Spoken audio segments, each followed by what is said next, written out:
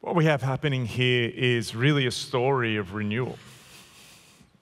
The story up to this point in the book of Kings is of a litany of terrible kings, the worst kind of leaders you could imagine, who'd been given this task to be a very different kind of people in the world, a people of God's holiness, His righteousness, His justice, but they continually fail at this task. One of the indicators of how well they're doing at this task is really how they worship. And they do worship God, the God of the Bible, Yahweh, but they also have a foot in both camps, worshiping other gods in other high places. And when we get to this point, what we have is this project of renewal that King Josiah has set about. But there's some really key details we need to be aware of. He is giving money for a rebuilding of the dwelling place of God, where God's presence is to find its home, the temple. So, the center of this story is creating a place where God can come and live with humans, as he did at the beginning of Scripture in the book of Genesis. But it's really interesting because the king instructs those working for him to give the money for the building of the temple, the rebuilding, this work of renewal, not to the people you would think that he would give it to. You'd expect that the money would be passed to people who were religious figures, the spiritual people, what you would call in Australian slang the super spiros. Now, this had happened about 10 chapters earlier when another king, a King Joash, had also tried to do a project of renewal. And he'd given money to the religious figures for the rebuilding of the temple, but actually nothing had happened. So, what King Josiah does is something which blows some of the categories of our understanding is who are the agents of renewal, and he gives it to tradesmen. Now, most of us, when we think about who are the most spiritual figures that we think about, we may think of a priest, the clergy, perhaps someone wandering through a forest somewhere. Perhaps someone who is like us, but sort of above us, floating in the ether. What we don't think about when we think about people who are spiritual, whom the Spirit hovers over, are someone beside the road in high vis, perhaps with a jackhammer, someone on a work site who has got an angle grinder, who is coming home covered in sawdust. But if we understand the scriptures, we actually realize that tradespeople actually have a really interesting part to play in the kingdom of God. In Exodus 33, the first people to have the Holy Spirit come upon them. Since Adam and Eve walked in God's presence, was actually the tradespeople who were given the task of making the different things which would be part of the dwelling place of God. So pay attention to this. The kind of structures that we rebuild and the people who the Holy Spirit comes over in moments of renewal are different than what you think. And it undoes the categories. Pause that thought in your mind. Uh, I want to begin with a story. Now, in Australia, we have a domestic flight uh, which goes from Perth to Melbourne, and it's just quite right small. It's only about three and a half hours long. And it's equivalent of flying from Melbourne, uh, sorry, from London to about Moscow. This is an internal flight. You don't leave the country, uh, and, it, and it's, it's just mad. Now, I was doing this flight after speaking for a whole weekend with some churches in Perth. And this was just uh, not long after Australia was sort of getting on its feet again. And like many places around the world, because of COVID, there's lots of flight crews uh, under, understaffed because people have retired. And we had this, this plane, it was sitting on the tarmac. And you know when the flight crew finally gets on the plane and you can tell that they're flustered? Flight crews in Australia can do these crazy days where you might begin in Melbourne, fly to Sydney, you go to Darwin, you're in, you're in a jungle, like tropical zone, you can fly to Hobart, and then it's like you're near Antarctica, you can fly to Perth. It's just absolutely mad. This was near the end of their shift, and you could see they had just made it onto the plane. The plane was absolutely rammed with people, except for one seat just on my right across on the aisle. Now, they're about to close the flight doors when finally the empty seat passenger turns up. And it's a lady walking down the aisle, and sometimes people have an air about them and you can sort of see what's coming. This lady had an air about her, and I could see something was coming. I didn't know what it was, but I had a sense this was not going to be your ordinary flight. So I settle in, and uh, I was tired, and I'm ready just to, to sit back and not think and just zone out. Now, the flight crew announced, they said, Look, sorry, we, have come late and there's actually a problem with the plane. The actual entertainment system is not working. I was relieved to hear that because if you're told there's a problem with the plane, I just want it to be not an engine, uh, but the entertainment system not working. I'm sort of okay with that. This lady basically then pressed the button and called the flight crew to come. And she made it very clear in a very sort of angry tone. She wasn't raising her voice. She had that sort of precise intonation that happens from someone who is not used to losing their, their, like their temper as much, but used to getting their way. And she told the flight crew that this was not acceptable, that, that this wasn't uh, working. And I thought, okay, just leave it, lady. And uh, she let it go after about 10 minutes of complaining to the flight crew. Now, what happened was about another 15 minutes later, she decided to press the button again to call the flight crew back and again to express how unhappy she was. I'm like, really, just let it go, lady. This continued to happen for the entire flight every 15 minutes. And this woman continued to complain to the flight crew to the point where she escalated it and asked for the head of the flight crew. I did not realize that flight crews had heads, but she met with her. And you could see that what was going on was this entire flight crew's now task was to keep this lady calm. We were about 45 minutes from Melbourne. This has been going on for some time. And she finally calls them in and says, Listen, I've had enough. What I have realized and what I have experienced on this flight, that you are failing me. As a flight crew, you are failing me because you've got a job to do. Your job is to put me in a state of mind where I am relaxed in my mind and I'm having pleasurable experiences in my mind. And I'm thinking, no, your job, first of all, don't, let's, let's not crash. I'm happy with that. And if I get a biscuit and a cup of tea, I'm, I'm, I'm sorted. Like that, that's happy. But this woman had elevated what she expected from this flight crew, and she wanted something that was actually quite stunning. Finally, we're about 15 minutes from Melbourne. Just before that, you know, they sort of pack up the, the plane and prepare you for landing, and she brings them back one more time. And she says, I've finally worked out what's going on.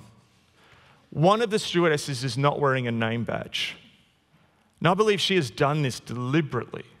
And the reason she has done this is because she is targeting me, and the flight crew is targeting me, and I've been experiencing on this plane a conspiracy against me, and I am not happy, and we need to escalate this. I'm just like, wow, okay, I've never seen this before. Now, what I realized was, for this woman, she was seeing things very differently. She was seeing this flight crew actually as this group of people who were there to serve her. And this entire scenario was not about the other passengers, it was not about us getting there safely. This was actually a platform for her to have her desires and this state of mind achieved.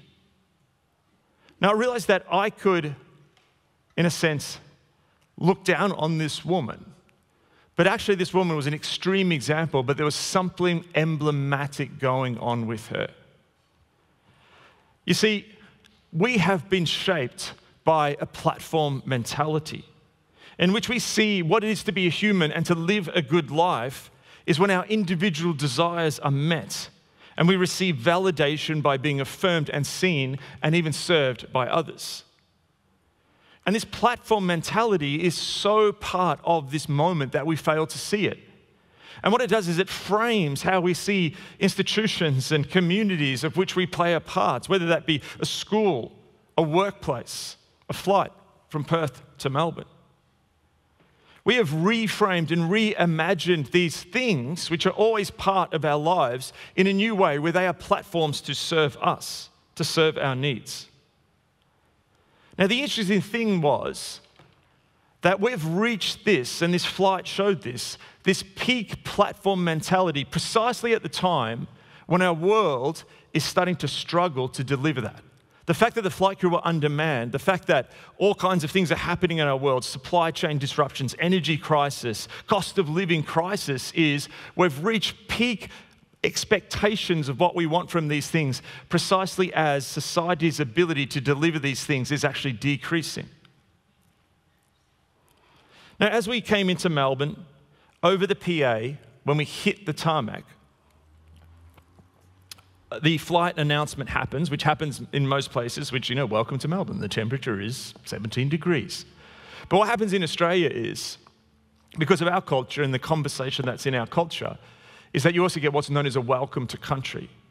A welcome to country is an acknowledgement of the various different indigenous nations and tribes. So if you land in Sydney, you'll get a welcome to the Gadigal people, or if you land in Melbourne, it'll be the Kulin Nation, the Wurundjeri people, which is the land that I live on.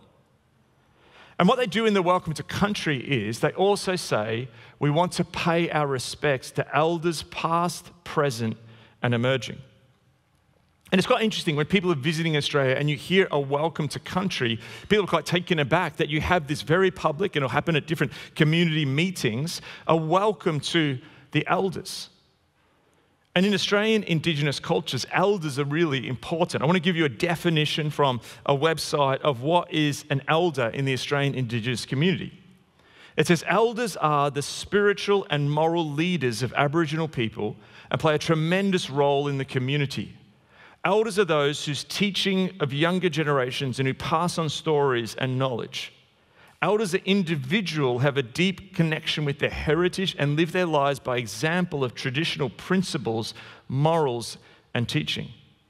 An elder's central role is to instill Aboriginal teachings in the community. So we're landing. This woman's on my right, showing peak platform mentality.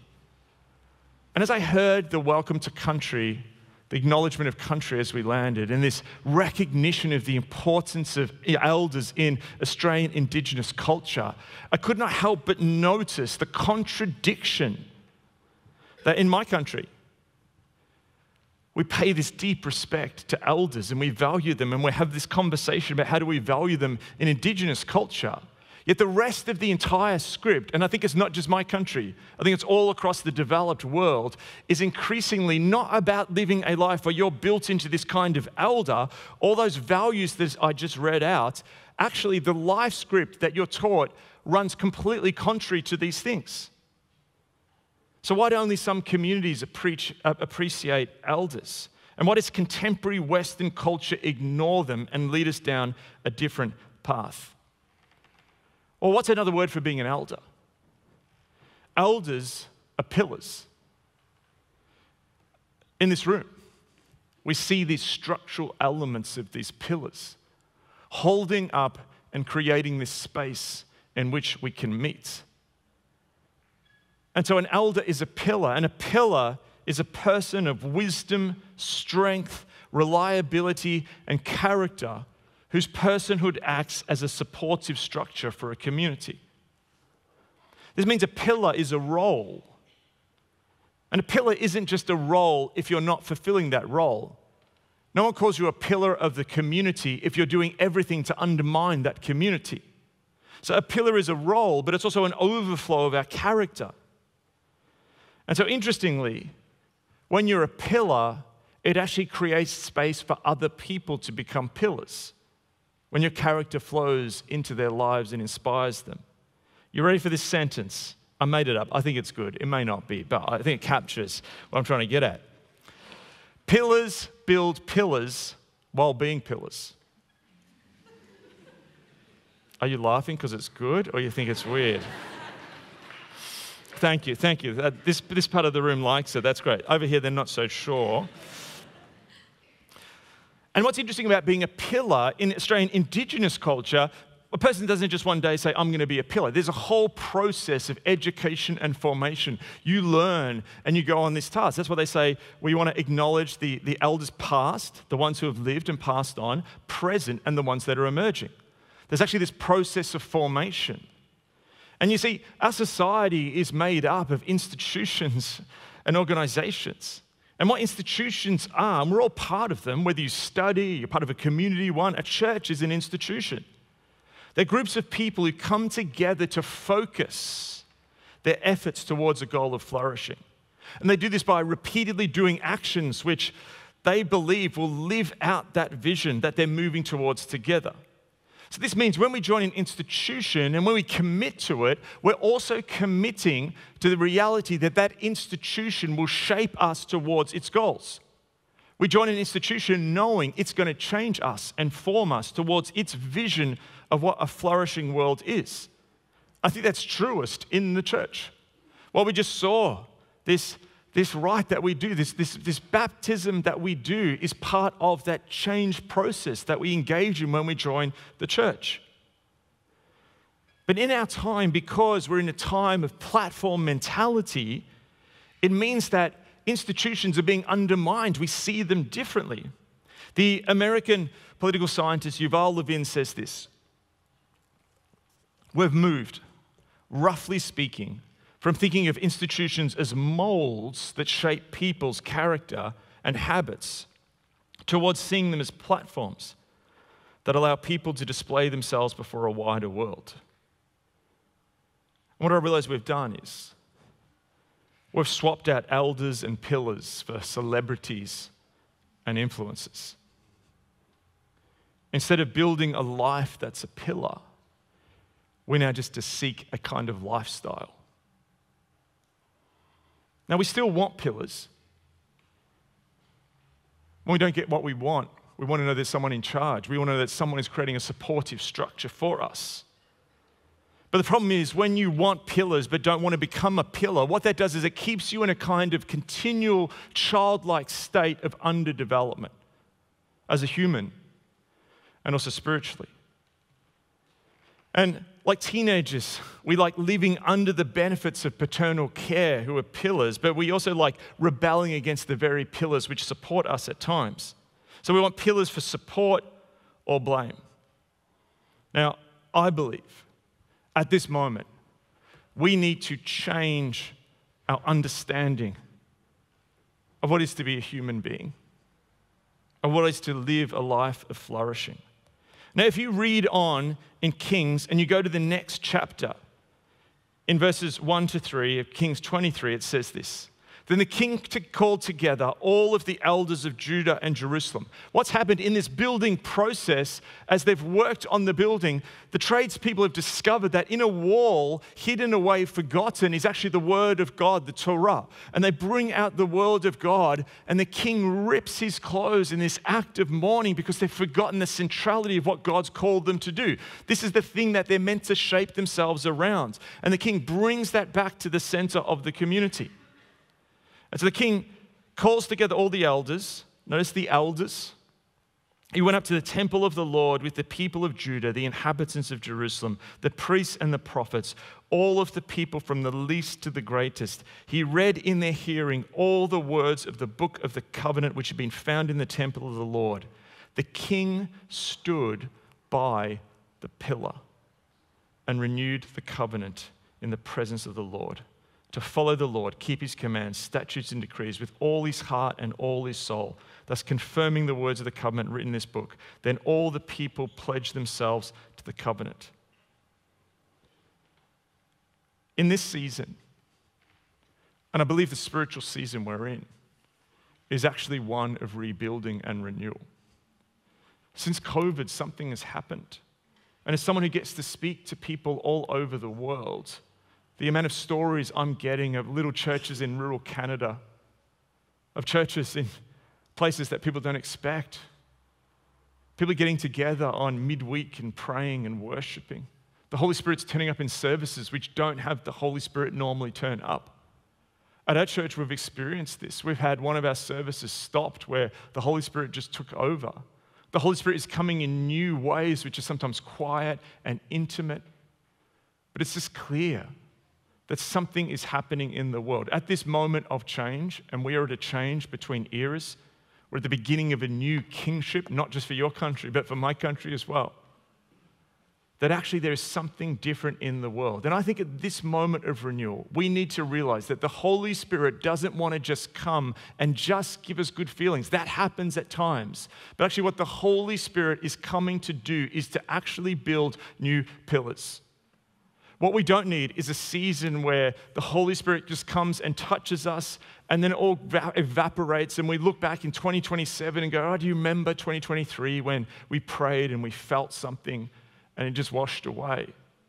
What we actually need is a process of rebuilding, of renewing. We need actually a kind of renewal which actually changes us, where we feel something, but our very lives are restructured and rebuilt into becoming pillars, which is a supportive structure of the next thing that God wants to build.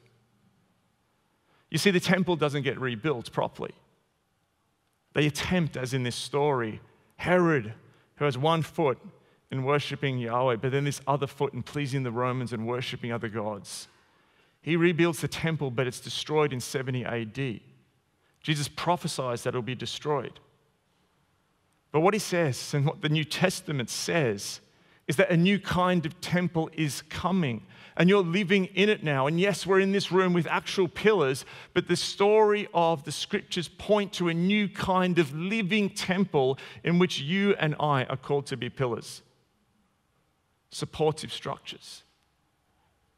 And when we do this, the Spirit lives amongst us. I believe that for the last few years, God has been seeding something in some people's hearts to live differently. There are people in this place who've actually been doing things for God in the hidden places, and you've had this sense that no one has seen that, no one has heard that. But it's a deeper, deeper growth that goes deep into the earth. We are in a season that I believe God wants to build a new structure in his people, not just to rebuild the church, but we live in a time when so many things are falling down and God wants to rebuild and renew the culture through us, the church. As was mentioned at the beginning of this talk, I've had a really busy week of speaking. I got on a plane for 24 hours and I flew all the way to the UK. And it's been amazing. I've got to speak on some pretty amazing platforms. On Monday, I spoke at the Royal Albert Hall to six and a half thousand people. Someone took a photo from the top and sent it to me, and it's like I look like a dot. I never thought I'd speak in that place. Then I shared a stage the next day with the former Archbishop of Canterbury, Rowan Williams, something I never thought I would do. And we had this conversation for an hour and a half. I had friends back in Melbourne who saw Nick Cave walking into the coronation with Rowan Williams, which was in all the Australian newspaper. And I was like blown away that I was like with him a couple of days earlier.